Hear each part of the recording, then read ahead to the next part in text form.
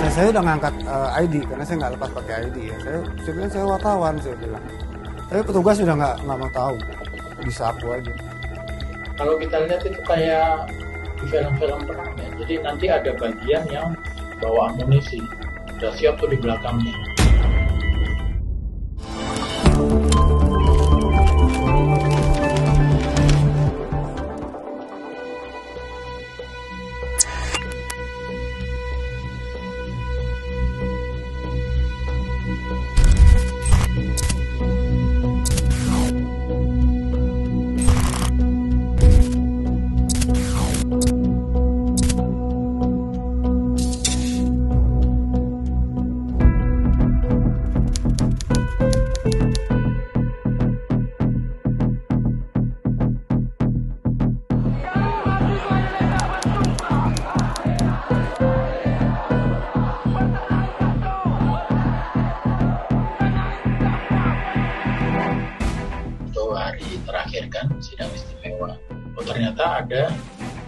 gerakan dari Mustopo. Di Mustopo tuh mau mau bergerak gitu, mau keluar. Tapi kan dijaga, nggak boleh keluar. Yang jaga tuh tentara loh. Tentara terus mereka bersenjata lengkap. Kalau lihat matanya itu kita kayak lihat film Dracula ya. Mata itu merah-merah. Pasti mereka kurang tidur dan mungkin belum tidur. Tapi harus jaga ada satu tentara di depan saya bilang, saya kan posisi belakang dia. Eh, jangan macam-macam ya, saya tembak kamu. Dia ngomong sambil nengok ke belakang saya, wah udahlah, saya saya nggak mau macam-macam.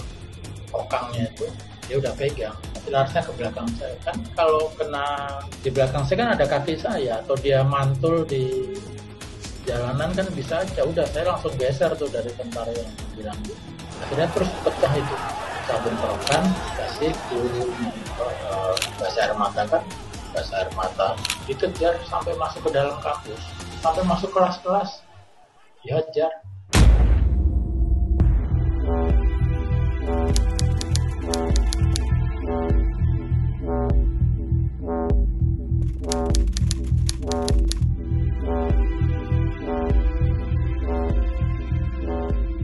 waktu itu uh, Atma Jaya itu paling dekat.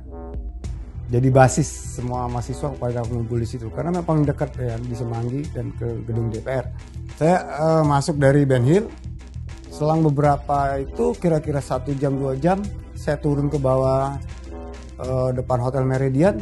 Saya lihat ada panser lagi konvoy kalau nggak salah ada dua atau tiga gitu. Loh ini kok panser mau apa gitu? Masa mahasiswa yang tanpa senjata kok dilawan dengan panser gitu? Rupanya di situ masih ma ma ma uh, masyarakat di sana warga di sana udah banyak rame kan? Mereka memberanikan diri tuh menghadang panser. Saya sempat berlari uh, lari ke belakang panser karena saya lihat kalau ini kejadian nabrak saya bisa kena kalau di depan. Saya mundur ke belakang tapi masyarakat ternyata berani maju terus gitu. Duh, saya pikir siapa yang menggerakkan keberanian mereka gitu kan? Loh, ada beberapa pemuda kok malam berani menghadang. Ada yang mulai mau tidur tiduran tadi di situ. Akhirnya saya memberanikan diri mundur jadi saya di belakang masa.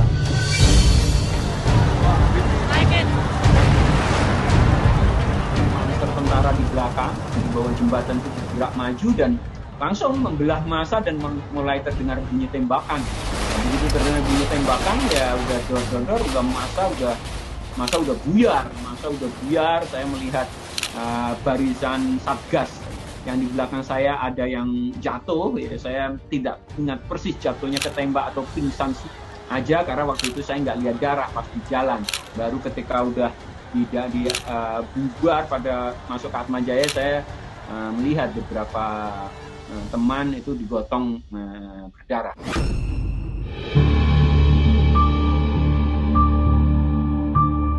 Saya melihat betul bahwa beberapa petugas sempat melemparkan gas air mata bahkan ke arah di atas jembatan penyeberangan di mana di situ bukannya kebanyakan di atas sana itu orang lagi pulang kerja. Jadi banyak saya lihat ada ibu-ibu yang jatuh gitu kena gas air mata segala di atas itu. Jadi petugas sudah mulai semakin ganas di situ saya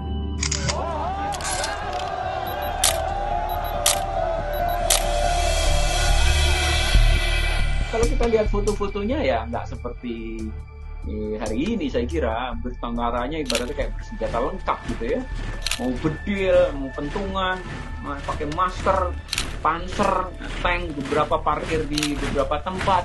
Nah jadi hampir semua kekuatan dikerahkan untuk menghadapi mahasiswa yang tidak bersenjata dan sudah berpuluh-puluh kali aksi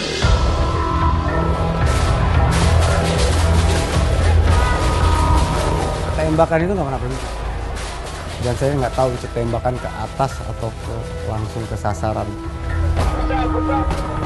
Teman-teman itu kan duduk baru aja minum dua tegukan kali. Tembakan itu berhenti lalu kita minum lagi.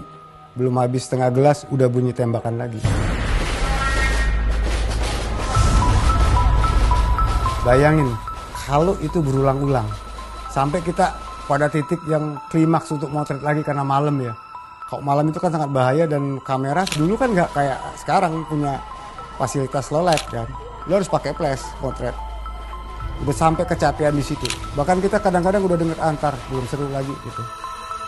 Tiba-tiba bunyi lagi, wah ada, ada korban, baru bergerak lagi. Yang saya tambah kalut adalah ketika demonstrasi, artinya berhasil dihalau itu nggak ada kepastian kita safe kita kita aman. Karena ada beberapa teman yang di rumah sakit Polri juga gitu. Ya, jadi memang memburu banget gitu. Jadi memang aparatnya eh, sangat represif banget gitu. Saya meyakini bahwa kekerasan penembakan itu memang perintah dari atas pemerintah dari atas sampai menimbulkan belasan korban itu atau bahkan lebih banyak lagi. Jadi itu jelas saya kira pelanggaran HAM, artinya kekerasan yang memang secara sengaja dilakukan oleh negara. Melibatkan aparatur negara, melibatkan perintah perwira atau bahkan level panglima. Nah jelas kekerasan negara itu terhadap warga tidak bersenjata itu pelanggaran HAM.